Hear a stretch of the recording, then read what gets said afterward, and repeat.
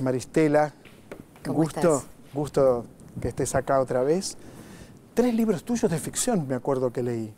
Tres Sí. novelas, ¿no? Sí, sí, tres novelas. Los Reinos Perdidos, que salió en 2005, y luego dos novelas eh, en, esta, en esta década, en 2012, donde están enterrados nuestros muertos, y en 2013, El Muro, que fue mi, mi última novela, ambas publicadas por Edasa. Y, y muy buenas, muy buenas novelas, ¿no? Y, y después, bueno, después releí tus ensayos.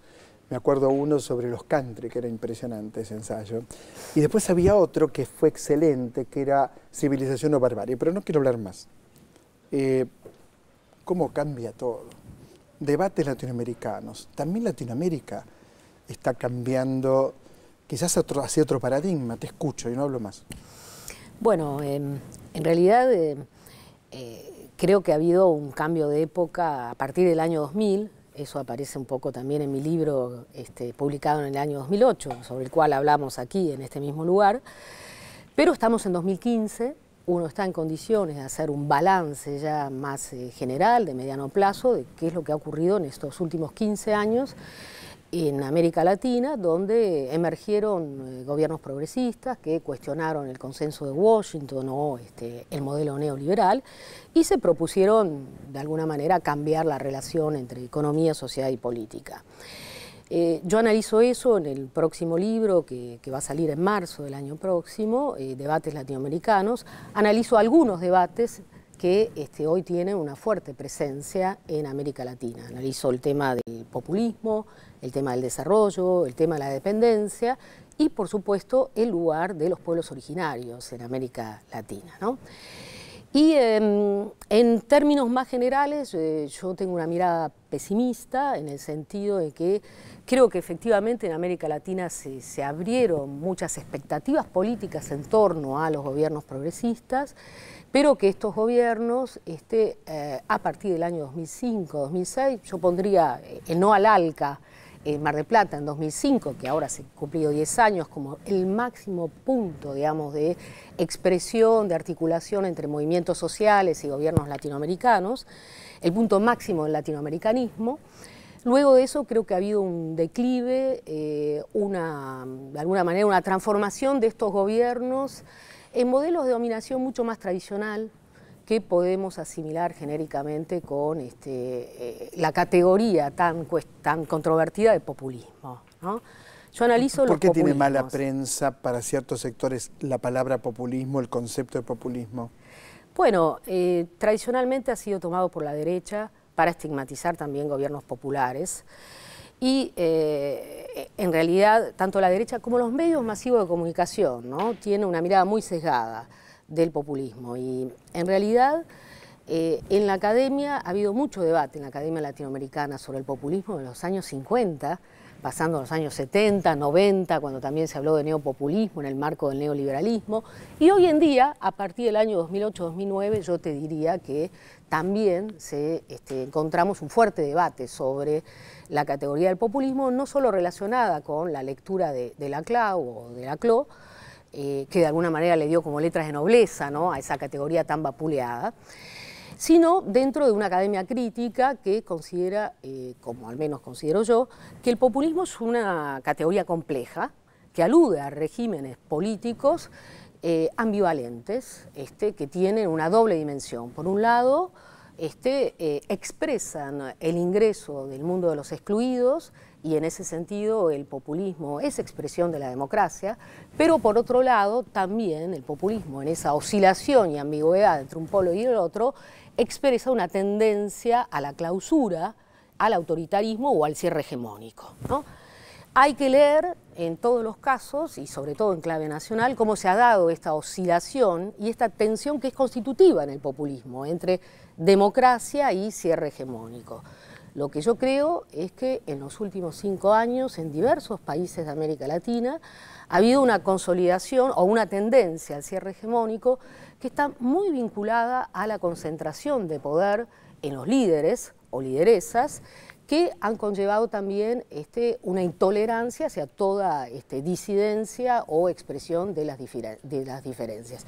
Y esto lo encontramos no solo en el caso argentino, expresado por el kirchnerismo, lo encontramos también en el caso de Correa, de Rafael Correa en Ecuador y eh, también, aunque no se crea por la buena prensa que tiene, en el gobierno de Evo Morales, en Bolivia, pese a que considero que efectivamente en términos de distribución de poder y transformaciones realizadas son diferentes. Pero el caso es que hemos visto en América Latina esta evolución de regímenes que eh, se articulaban en clave de izquierda o buscaban articularse en clave de izquierda, que buscaban transformar las relaciones sociales hacia regímenes populistas clásicos que apuntaban a, un cierre hegemónico.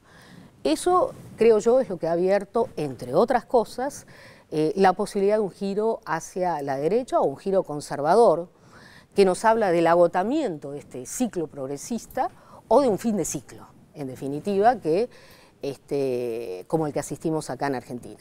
Ahora, detrás del giro conservador, ¿no está el poder descomunal de los medios de comunicación, el poder concentrado de empresas multinacionales, no está el poder económico detrás de ese giro conservador y el poder mediático sobre todo, junto con el poder económico. ¿No hay ahí una alianza que es difícil de pensar a lo mejor?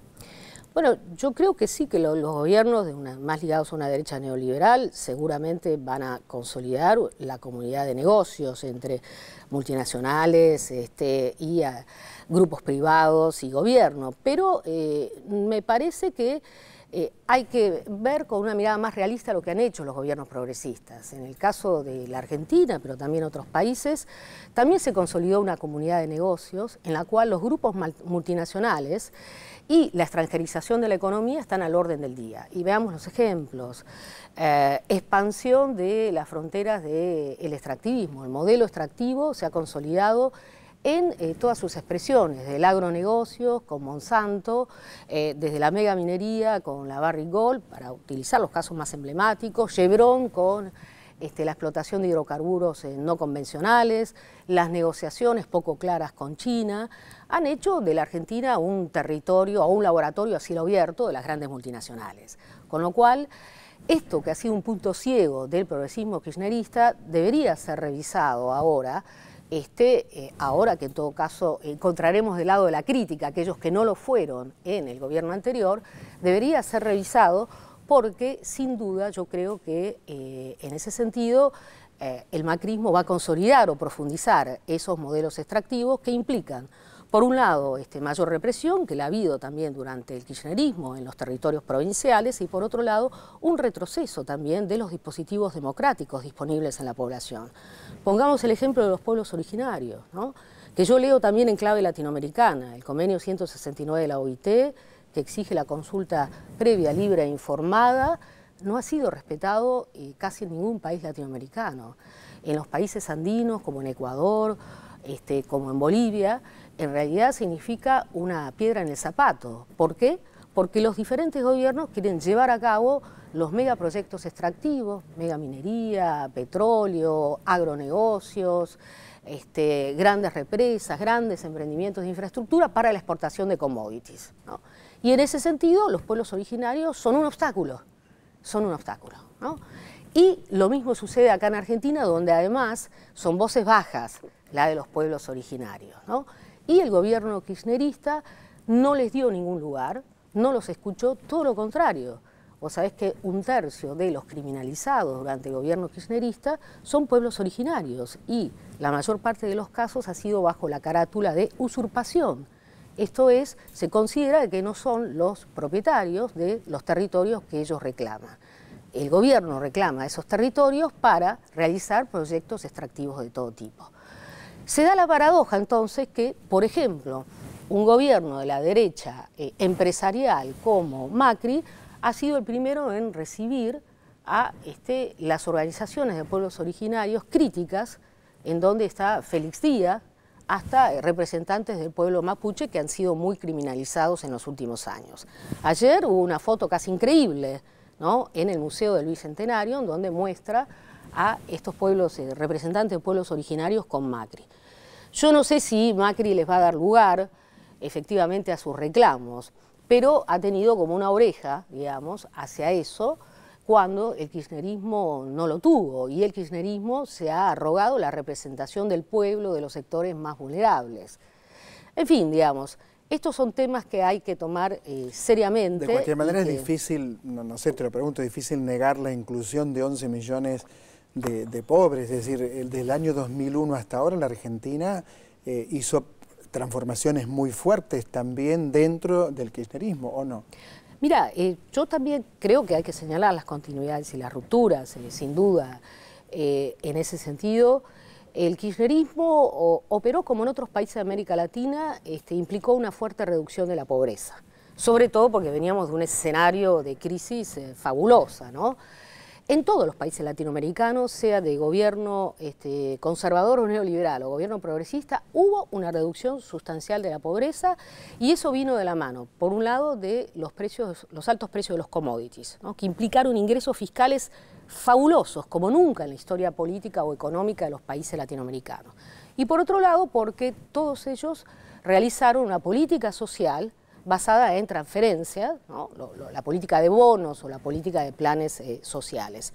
Eso implicó una reducción de la pobreza sustancial, insisto, que es volátil porque también depende de eh, eh, la inflación y se puede perder en muy poco tiempo, pero no significó, y en eso hay trabajos ya importantes que se están realizando a nivel latinoamericano, una reducción de la desigualdad. ¿Qué quiere decir esto? Que tenemos un escenario muy paradójico en América Latina, de reducción de la pobreza, pero no necesariamente de la desigualdad, porque en realidad lo que se está mostrando es que hay una mayor concentración de la riqueza, los ricos se han hecho más ricos, y los pobres, cuanto menos, se han hecho un poquito menos pobres. Un poquito menos pobres. Eh, en tu libro, eh, ¿tratás el futuro, lo que viene para vos en Latinoamérica? A ver, eso es difícil, es difícil eh, de, plantear. Yo lo que hago en ese libro es, eh, por un lado, trato de hacer un recorrido eh, conceptual de estos cuatro debates latinoamericanos, la cuestión de los pueblos originarios, populismo, democracia, dependencia, porque, ¿sabes Osvaldo? Hay, hay muy poca acumulación en el pensamiento latinoamericano, hay una dependencia intelectual, una dependencia epistémica respecto de lo que viene fuera, y muy poco trabajo de este, contribuir a eh, visibilizar el legado, digamos, el, pensamiento en sí latinoamericano y la teoría social latinoamericana. Entonces hay toda una primera parte histórica y hay una segunda parte en la cual yo lo que trato es mostrar la actualidad de esos debates hoy en día. Y eh, en ese sentido trato de, de mostrar cómo hay una fuerte tensión entre eh, la propuesta de darle un lugar central a los pueblos originarios, pero por otro lado apostar también a la expansión de las fronteras del capital, como han hecho estos gobiernos. En ese sentido, más que hablar del futuro, mi balance final es más de fin de ciclo y muy preocupante por lo que se va a venir, muy preocupante, lo cual va a exigir también una reflexión muy seria desde la izquierda latinoamericana, que ha estado muy dividida en los últimos años para poder pensar seriamente en la necesidad de construir una izquierda plural eh, y democrática. Como siempre, muchas, pero muchas gracias. ¿eh? Muchas gracias.